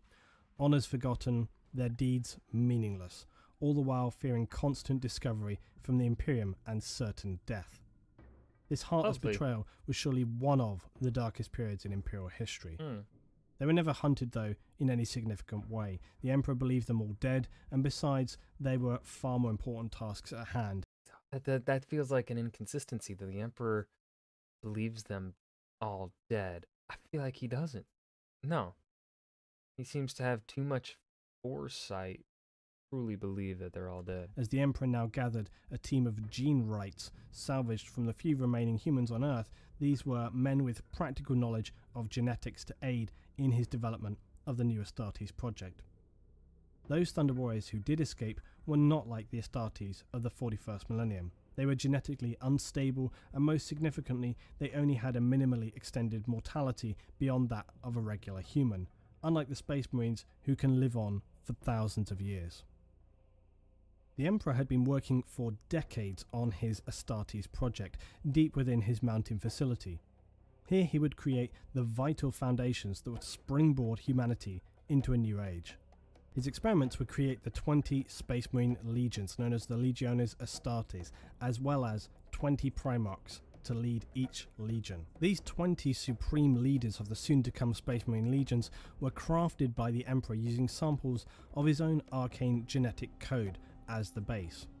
It is obviously unknown the depth of which the Emperor used his own DNA to create the Primarchs, but later findings through ancient Imperial records do hint that he spliced multiple DNA types together, even going so far as to introduce some animal DNA into the Primarchs. And this would explain why some, such as Leman Russ, would display the wolf like qualities and why these would then become present throughout the Space Wolves uh, Legion and chapter.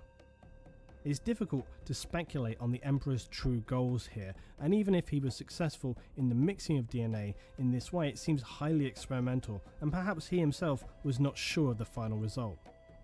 This period of intelligent design was hasty I just love how out of place this wooden shield this shield is. It just feels so out of place. and somewhat improvised given the drawing my eye dire it. situation facing mankind. It needed to repopulate its military power in order to springboard and take stage fights forward uh, to reconquer the colonies. Another point of speculation is how closely the Primarchs were imbued with spiritual elements and others such as unnaturally skillful charisma and so on. Still, though, in creating the Primarchs and even taking small elements of the Emperor's DNA, it imbued them with these demi godlike characteristics. It also explains why, at this time, the barely known forces of chaos would seek out and scatter the developing Primarchs before the Emperor's plans could grow into fruition. Little is known of this Primarch scattering event, but it has been suggested that the dawning forces of chaos felt this expanding power from humanity to threaten them, and in an effort to slow or negate it, they reached out into the mortal world to seize and scatter the fetal Primarchs across the galaxy. Each world they found themselves on would surely in time come to realize that they were far from normal, often finding themselves as a natural leader in command of the systems that would become their home.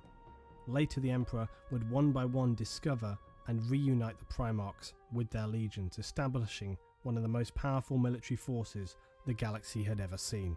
The Thunder Warriors, though, were undoubtedly the early prototypes for the Astartes project, which subsequently makes their untimely end all the more tragic, as their sacrifice was so great, yet the memory of them was totally obliterated. The Astartes project would continue in a pragmatic manner. Each of the early legions at this time contained barely a few hundred marines. Their equipment was lightweight and somewhat improvised by comparison to later standards. They trained their minds and bodies to be the will, might, and rule of the Emperor. Time would pass and their numbers grew. Each legion was divided not only for organizational reasons but also for practical reasons. Because of their adapted genetics that were drawn from the Primarchs, some carried traits and psychological behaviors which would not have been found comfortable comparison with their sibling legions. This segregation also allowed them to focus their bonds to their brothers in their own legion, creating a near unbreakable kinship between Astartes. If the newly created Astartes would be the Emperor's scalpel, his gleaming pinnacle of human achievement, then the Thunder Warriors were certainly a mace used to bludgeon the remnants of humanity back into submission.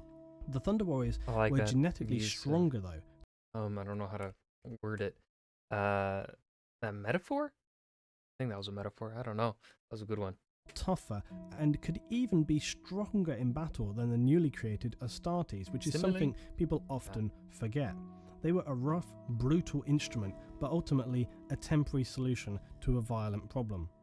The Space Marines would serve not only as a weapon, but as beacons to mankind, a glimmer of what humanity could hope to be. The dark times to come, however, would show that this was a misplaced belief, that while the Space Marines were created to represent the pinnacle of human development, they ultimately proved as susceptible to the basic flaws of mankind as any other mortal. The Emperor's campaign on Earth would now come to a close. He began establishing the fundamental elements of a civilized modernized society in government administration, economy, and infrastructure. An important figure in this process was a man known as Malkador, the Sigillite. He had a vast knowledge of such matters and carried himself with the bearing of a priest. He was appointed to run the courts and palaces of the new empire, the right hand man of the emperor. Earth would like turn from a place of desolation and horror to one of active production, rebuilding, and planning. Some might call it coincidentally convenient, but at this time, a vast shockwave would travel through the galaxy the birth of Slaanesh. Humanity would have no idea of the significance of this, only that it cleared the storms from the warp that had isolated and ruined humanity's gloriously technologically advanced empire. Again, though, we could speculate that the Emperor had foreseen these events and the necessity of preparing Earth for this time. On Mars, the humans of the cult Mechanicus, that is, those who worship machines, would become aware of this unification on Earth, as information through distant communication and physical observations. They viewed this new emperor as a man in alignment with their own agenda.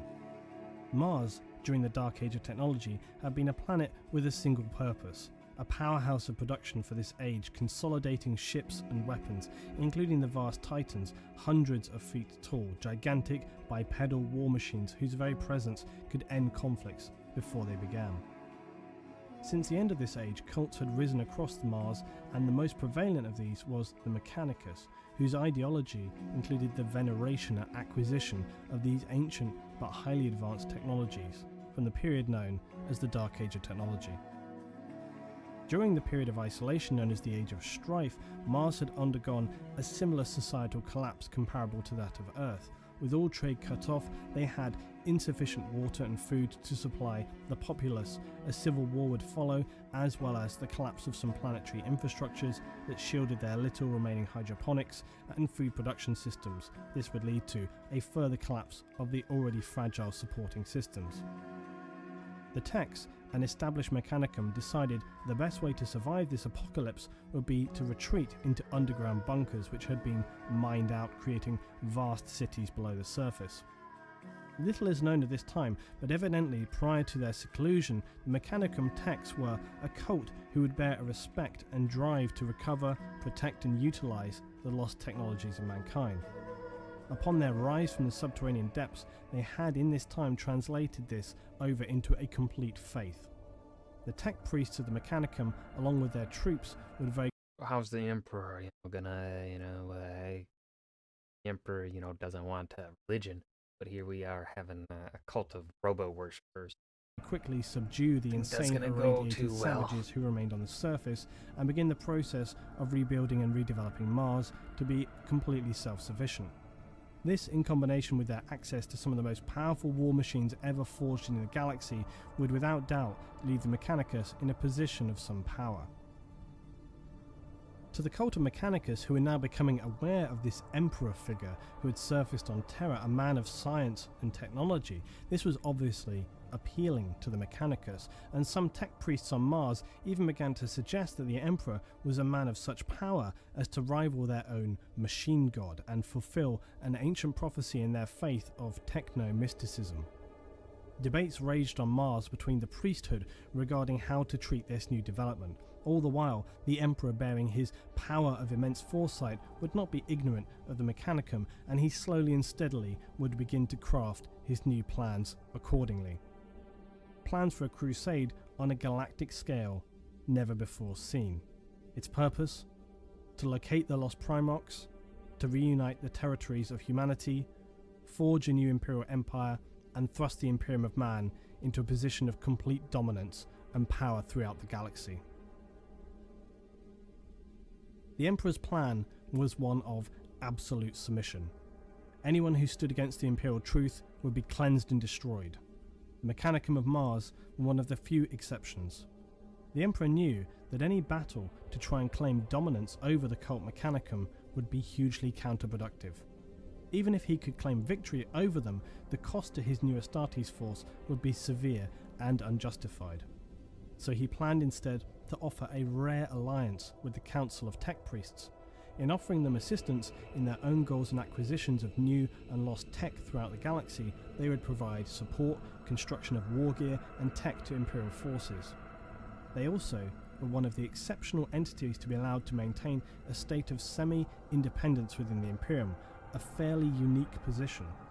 The Emperor mm. would also provide a new group of navigators to enable the Mechanicum to travel through the warp again in search of fabled STC units.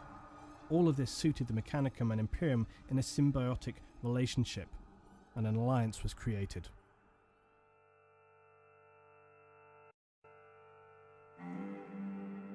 Great Crusade and the Fall of Eldar. Final chapter for this video.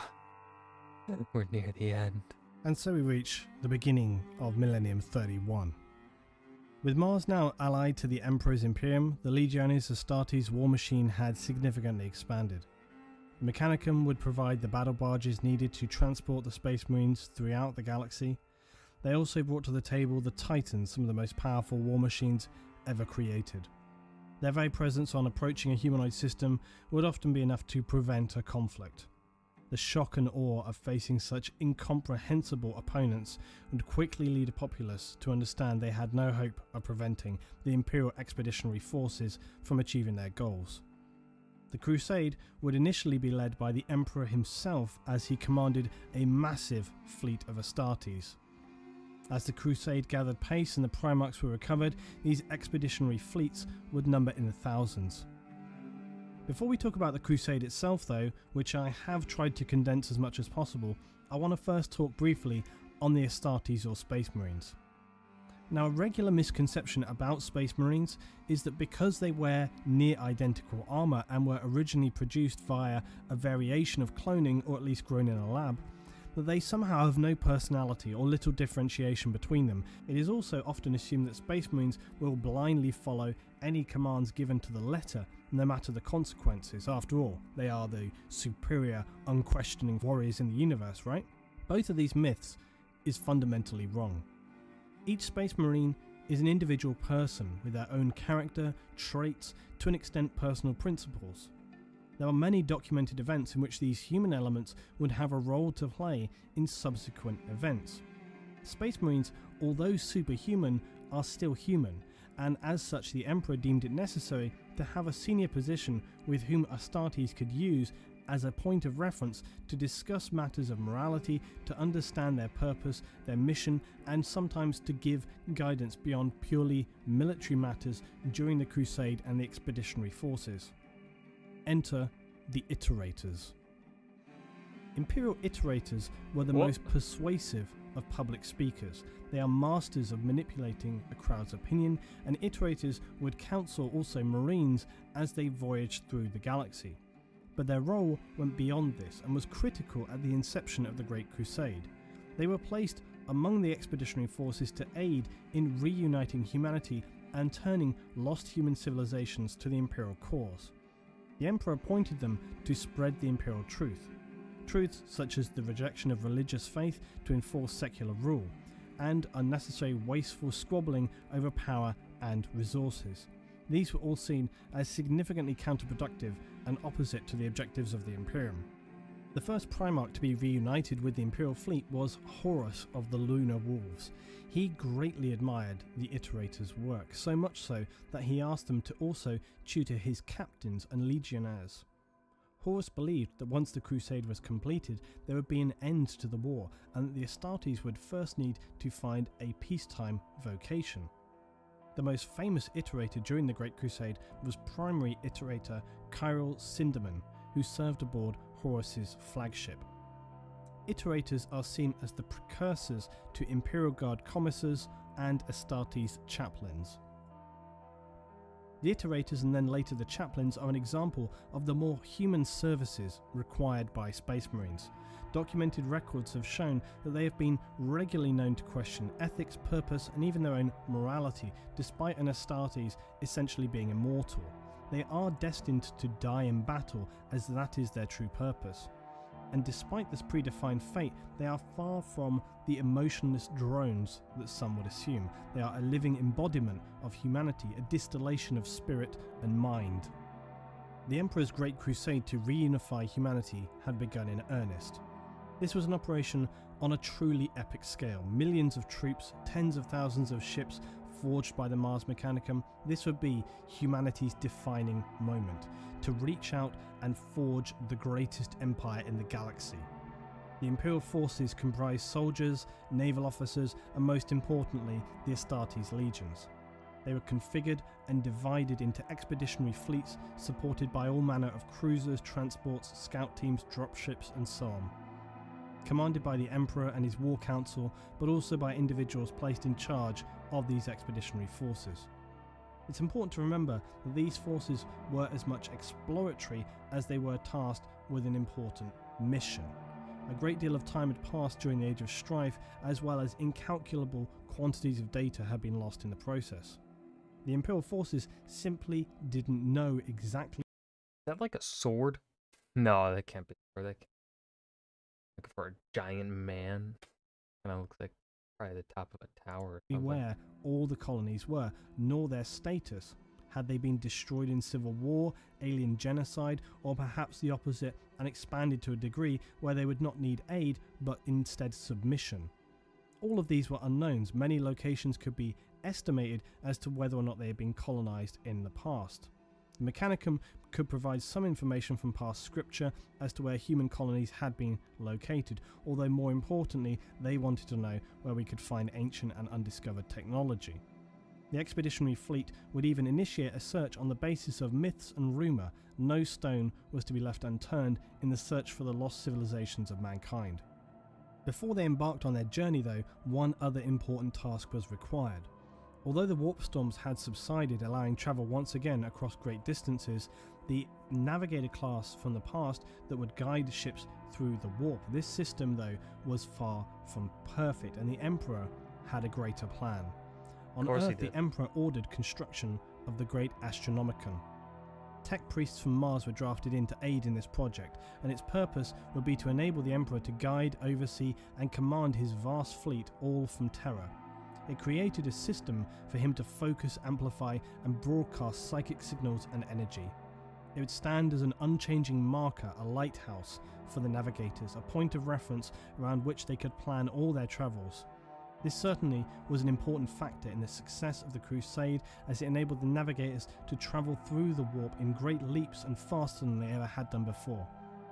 In addition to this, the Emperor would also create the astropaths, these were powerful psykers whose sole task would be in relaying communications from the fleet and later the established Imperium back to the ruling council on Terra. The vast distances involved meant that the astropaths would become the only communication link between Terra and the distant colonies. However, as with the Eldar, the risk of possession to the astropaths by warp demons consuming the psykers and thereby enabling them to travel into the material world was one that the Emperor was all too aware of, especially after his Primarchs had been scattered throughout the galaxy. To this end, the astropaths would undergo an extreme and harsh process of toughening against the threat of warp entities. The Emperor himself would manipulate and reform their mind into a protective vessel, making them nearly immune to risks from the warp. This process, though, was agonizing and extremely dangerous. Many psykers were killed in the process or went completely insane.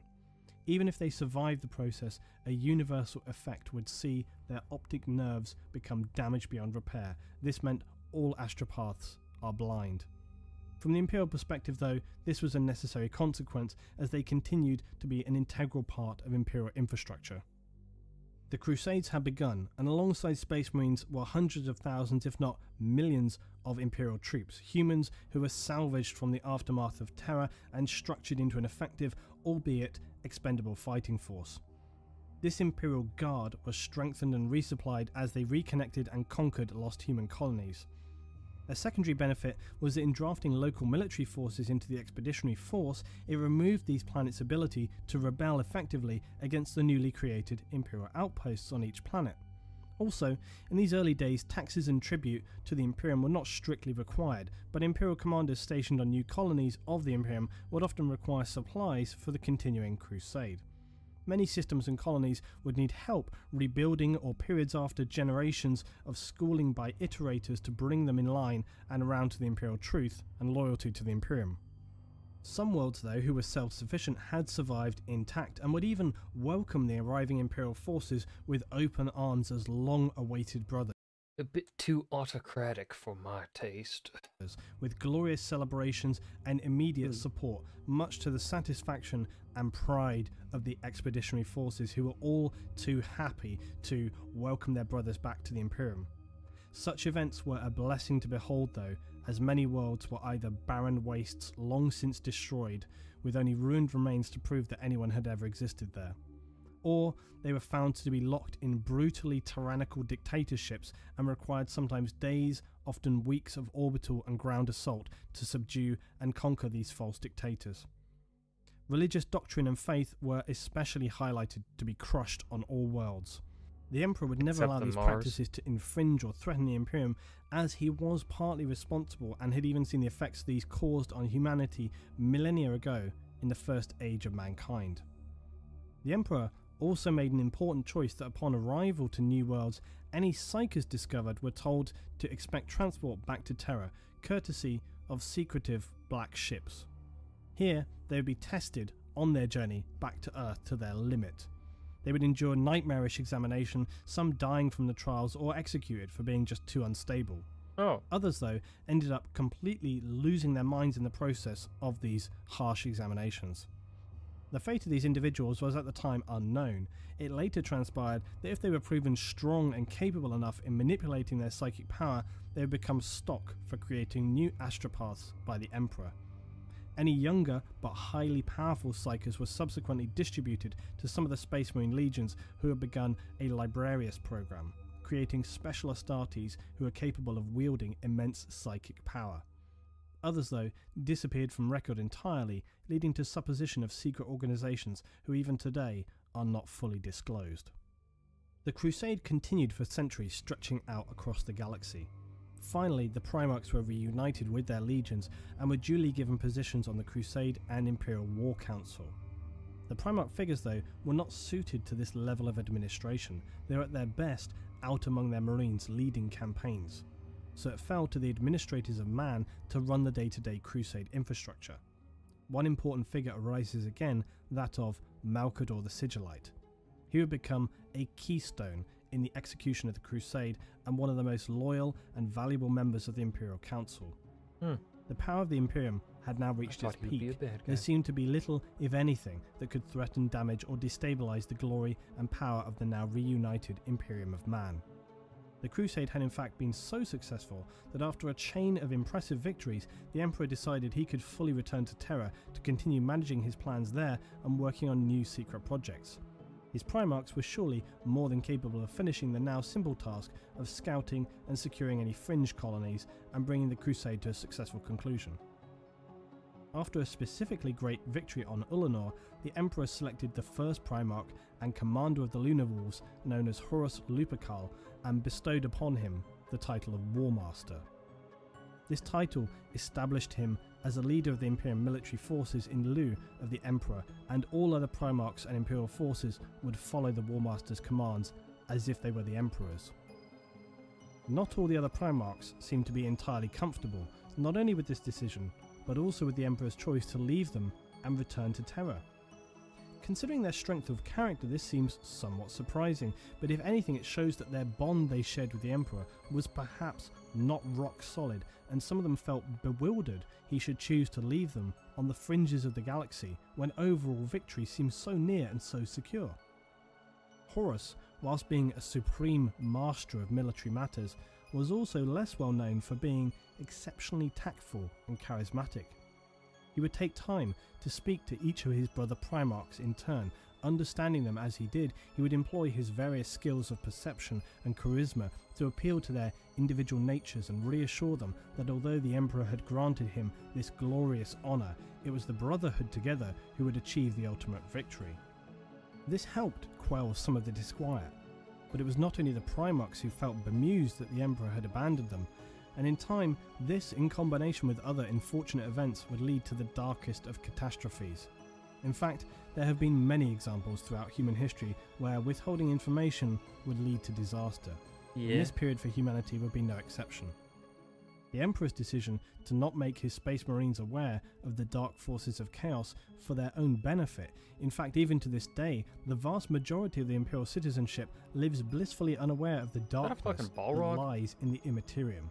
What? The Emperor's precise reasons for this are not crystal clear. Perhaps he felt that humans were too easily persuaded or tempted by the promises of quick, easy power. But whatever the reason, the consequences for the Primarchs and Space Marines to not be able to see this danger, as well as the Imperium, would be disastrous. The Astartes legions had encountered vague clues and shrouded warnings on some lost human worlds they encountered, whispers in the wind, apparent possession of marines. Horus and his lunar wolves discovered direct evidence of some dark force when they encountered a lost but highly advanced human colony known as the Interrex in the later stages of the Expeditionary Crusade. As the fleet travelled to the Interrex homeworld, they engaged in extended peaceful negotiations. Again, this was an example of the Space Marines and notably Horus not giving preference to immediate combat, but in choosing a peaceful option if this was viable to them, it was always preferable. Their mission of Imperial Truth was without question, it was the only resolution that would ever be acceptable to the fleet though. Now, during this encounter, Garviel Loken, who was the Lunar Wolves' 10th captain and a member of the Mournival, uh, the Mournival was a close and under Imperial rule illegal clique of brothers, but one which Horus had allowed to exist so as to help advise him on matters of importance. Loken was among the War Master's party when they attended a reception with these Interrex during negotiations. He was drawn into a casual conversation with one of the Interrex guard, who admitted that the Interrex had learned to tread carefully with any newcomers to their people because they feared the taint of chaos with a K on these newcomers. It becomes apparent that the Interrex colony had made dealings with the Xenos race, the Eldar, Yeah. during the Age of Strife, and the don't know what any Interrex of this explain how it is their understanding from what they could discern from the Eldar along. that It's chaos this point. is a threat like no other. That it would not appear brutal or blunt at first, but subtly. They feared chaos deceptively approaching their space, posing as a friend, seeking to bleed its way into their confidences, and then destroy them mercilessly from the inside out. Loken was shaken at these unknown revelations, and the Warmaster Horus would later assure him that there is no fundamental evil in the galaxy, and that is the end of the matter. But the seeds of suspicion are planted. Loken cannot shake this feeling that something somewhere is wrong. But before he'd have any opportunity to follow up and explore these doubts, a break in occurs in one of the Interrex's most sacred museums, and a highly advanced blade known as an anathame is stolen. At this time, despite Horus's pleas for restraint, negotiations would now collapse, and the Lunar Wolves and the advanced Interrex would fall into all out conflict. The Space Marines of Horus are ultimately victorious over the Interrex, but it's a victory Horus takes no pleasure in, as it's born out of misunderstanding and was a tragic, unnecessary conflict. These events, though, would become just a singular fragment in a deteriorating pattern of troubles that would haunt and gesticulate within Horus, as well as his unease then irradiating out into his brother Primarchs, the Mournival, his and other legions. Unbeknownst to Horus, a sequence of events had been now initiated, and their cascade could not be prevented. So, why are these events so important? Well, for one, it gives more insight into the fact that at the time it seems barely any Space Marines at any level of rank had any knowledge of chaos. And if they did, it was only the vaguest of suspicions, the kind that could easily be brushed off by speaking to, say, some iterators. They had no idea about the true nature or capabilities of the malevolent force known as chaos. By comparison, the Emperor understood all too well the dark forces that had very recently annihilated the Eldar and consumed so many human colonies throughout the Age of Strife. It seems strange that he would choose not to gift his Astartes and more importantly his Primarchs with this information so that they could best protect against its darkness. But perhaps he feared that knowledge of the warp entities would do more harm than good, instead choosing ignorance as the best policy. However, a combination of time, doubt, rejection, jealousy, and greed brewing in corners of the Astartes legions would prove this to be an unwise decision.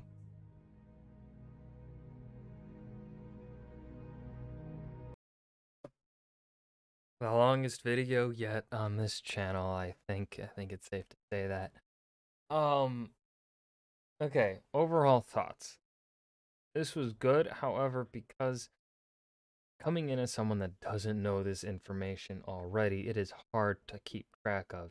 This was still a very well made video i want to make sure that that is clear this was a well made fucking video. Piece of art i dare say. Uh it's just going in not knowing any 40k lore.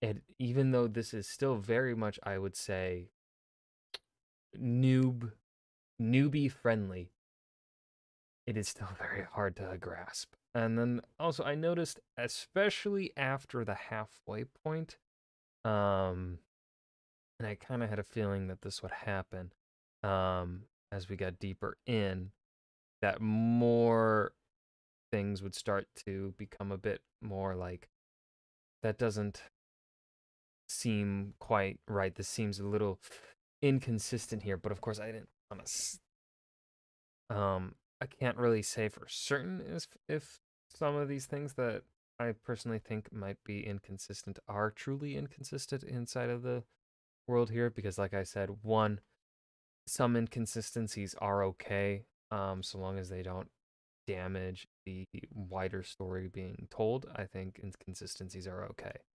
Um uh just because it is very hard especially with a franchise as big as 40k here um to, you know, keep things pretty cohesive and consistent. Um, authors do their best work, but sometimes you know things slip through the cracks. It happens. Um, but the, like the th- the emperor here seems a bit. It might be intentional.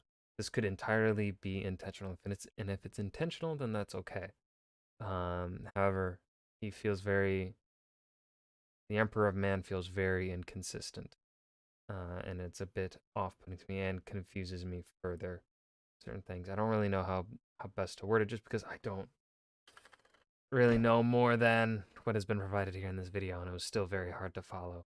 It's an hour, an hour and a half video, so it's hard to you know remember and keep track of everything being said here. Uh, it's hard to do. Um, but yeah, I hope you guys enjoyed. Please, please support this video. Please, I need it. I need it. I I don't want to upload this and have this be like the worst performing video ever on this channel. I really don't want that. I'll cry.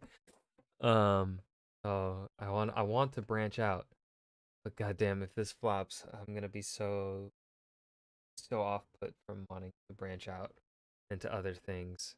Um, but yeah, I hope you guys enjoyed. Remember to hit that like button and subscribe for more. I will see you guys next video. Peace.